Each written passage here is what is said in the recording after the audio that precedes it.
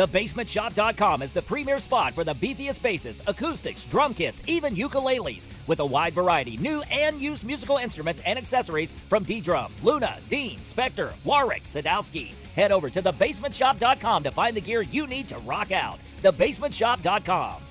Recently, Pike Central High School's band aided Martin County by appearing at Rupp Arena to play for their boys basketball team. Both bands worked together under their directors for a great display of support. Pike Central Director of Bands Jason Johnson comments on the collaboration.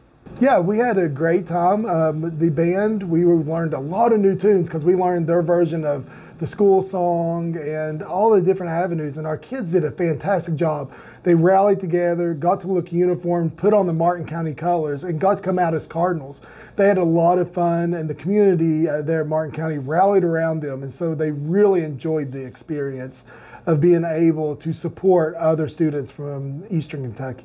Now that his students are back from Lexington, Johnson is taking the time needed to focus on All District Jazz Band. 15 of the 17 seats in this year's jazz band belong to Pike Central students. This past Tuesday was at the District 9 All District Jazz auditions, and we had multiple students of our jazz program here at Pike Central audition for that.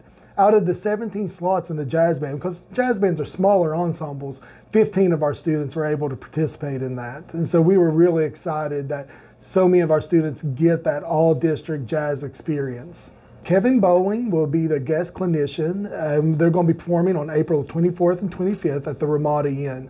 And some of these students, this is going to be one of the bigger jazz events that they've participated in. Some of the seniors that are seniors now, when they were freshmen, they were able to perform in Louisville, Kentucky for the Kentucky Music Educators Conference. That was a big performance for them. But this upcoming performance will be one of the largest performance for some of our younger freshman and sophomore students that they've done.